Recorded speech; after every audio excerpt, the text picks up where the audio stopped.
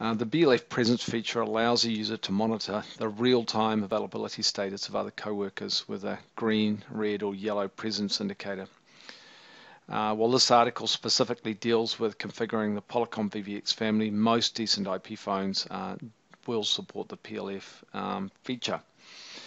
Uh, to get going, uh, you'll firstly need to enable um, BLF inside your SIP Live, which you'll find under the Advanced, Presence and BLF.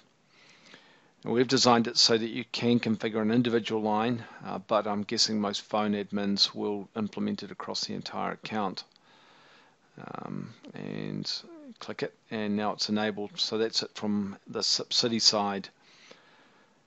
Enabling um, on the Polycom VVX is a two-step process. First of all, you're going to log on to the phone's web UI.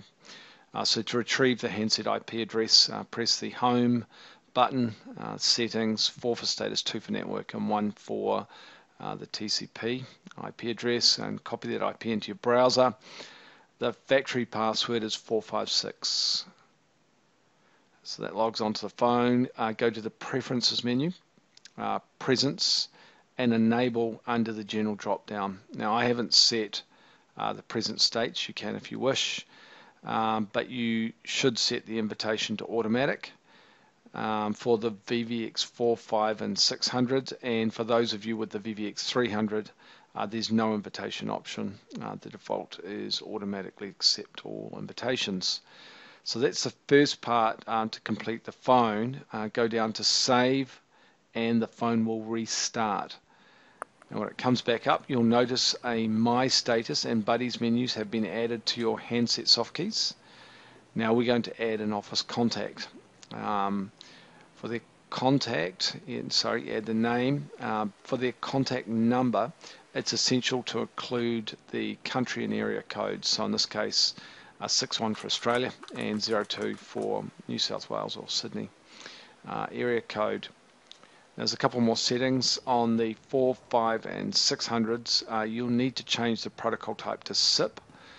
On the VVX 300 there's no option as uh, the presence or SIP is set as a default and scroll down to watch buddy and you're going to enable that um, and that establishes your co-worker's presence contacts on your phone uh, to display this status on your home screen um, you'll need to add that contact as a favorite uh, so that's it when they're online they appear green if available and red if on the phone uh, and, and indeed yellow if they're not available Another handy feature is you can dial presence from the icons directly. On the VVX colors, I simply hit the touch screen and on the VVX 300 uh, with the corresponding left buttons next to the presence icons.